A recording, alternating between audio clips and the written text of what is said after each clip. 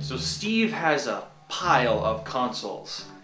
But the best thing about Steve is that Steve sleeps and dreams about consoles.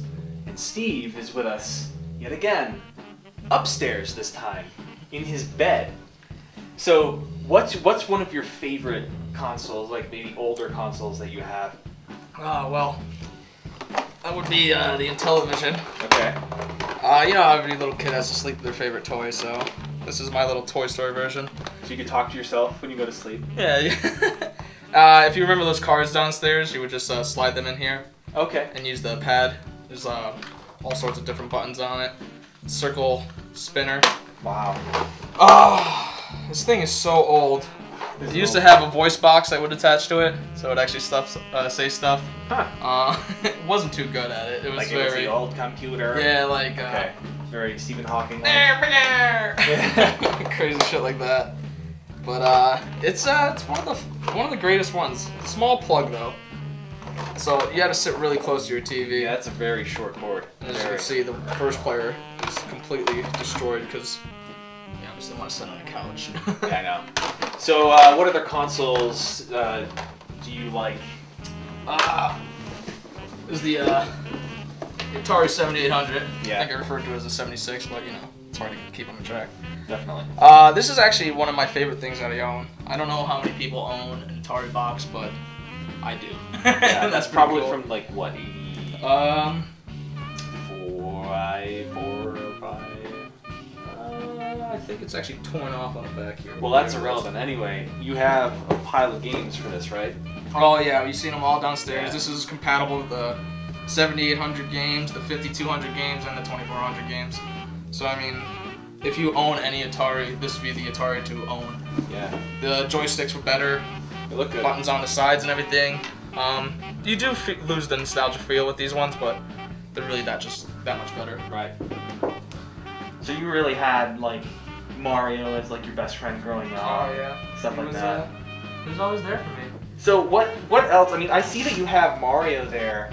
Um, so what what other prized possession do you own? Um, probably the coolest thing I have is uh, a Super Mario 3 box.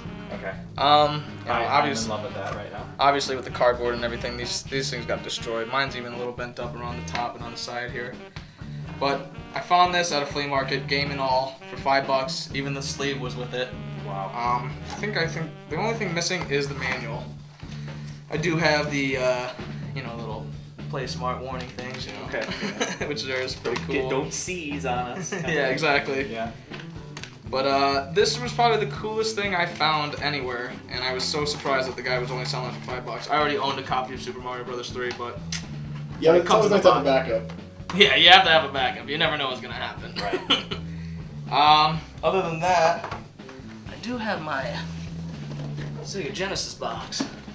Join the 16-bit revolution. That's like the original version. Yeah, this is the original. It's a, this is um a little older because it does have your uh, Sega CD on the back, but it's uh you know between that area before they made the uh, the wide loader and the uh, the bottom support. Um, I never remember the Super Gun or anything like that. I remember for the Nintendo, but not for not for the Sega. But you know, Genesis does what Nintendo don't. Lufia, Sonic 2 for the Game Gear. Oh, StarCraft. I don't have the heart to throw this stuff away. I have a bunch of old big boxes like that. I I remember when the PC games when you come in the giant boxes, Huge box. one CD. that didn't last. long. WrestleMania, basically the the extended version. Then I got the uh, sad like destroyed boxes. Ooh, these are Shane's glasses. I got. You know the Assassin's Creed Special Edition that uh, a three-year-old got a hold of. So I mean, I do have my fair share of casualties. You got your Doom box. 64 baby. I was known as the Doom Master. And the Doom Master. Played that game all the time uh, Asteroids manual for the Atari, which is uh, that's pretty cool. How many people have Atari boxes. Or... Okay, I have to ask. I know you're busy here. What is this? Ah, this is uh, one of those coin things. I have the Luigi downstairs. Uh, we'll go take a look at it later.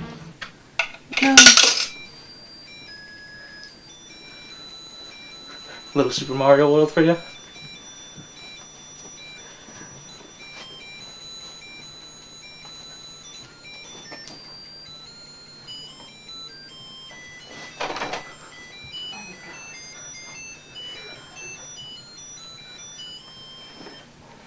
Thank you It's very pretty much. cool. though. BA. the Wii box. Yeah, everyone Wor- has one of those worst things. thing I've ever purchased. I am so disappointed in the way Nintendo's Hey, going. that makes two of us. Uh, the Wii U. What a fucking name. Oh yeah. This. This is what started it all for Microsoft. Oh Yeah. no way! But look what's inside. Why inside. are they in a Microsoft box? Because that's where they went. no, that's true, yeah. yeah, so I got you know I don't have Tails or anything like that. Miles, whatever his real name is. That's so. Cool. but yeah, these were uh, I found these for like six bucks. They were still in the box and whatnot. But being so young, I wanted to play with them. anymore. Not anymore. I needed to play with them. Yeah. But they were cool as hell.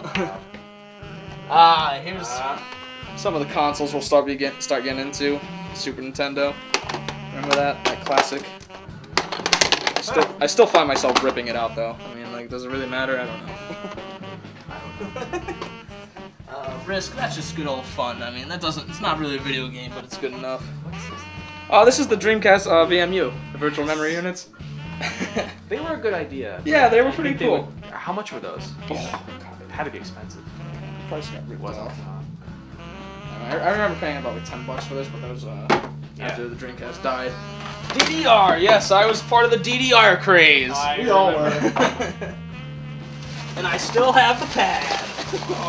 I wish I still had my pad. Two of them. That's, a, that's now a piddle pad, isn't it? yeah, yep, yep. I don't know if it works. I haven't played it in a long time. Ah!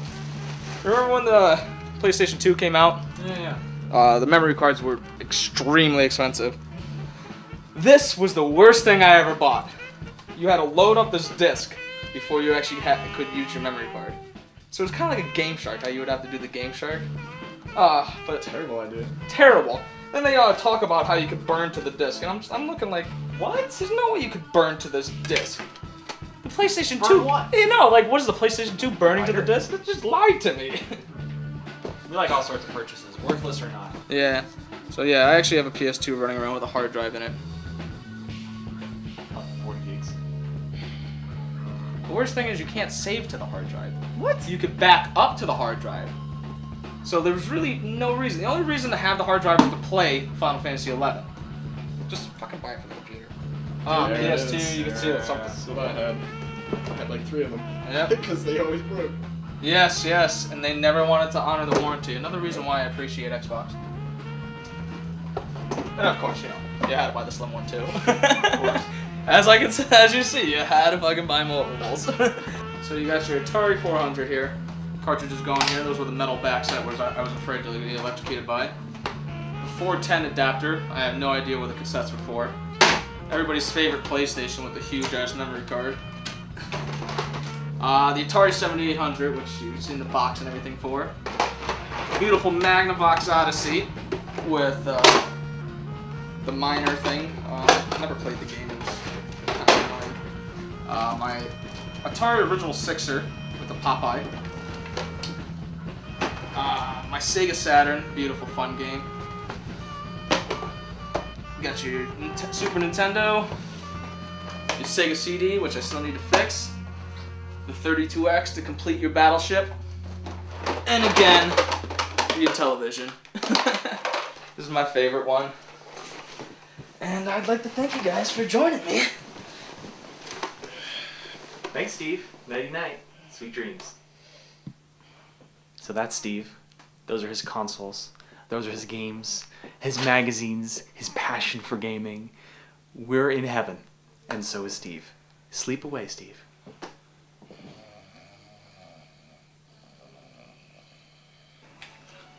Oh, it, it took me a while to get used to it. Oh, what, what was that thing? Oh, did I just kill myself? Alright, let's actually get to a level, buddy. Let me show you how to play it. Yeah? Yeah, you'll you'll you'll figure it out. You see Uncle Steve how he's holding it? Yeah. Like a regular controller. Ignore the whole thing.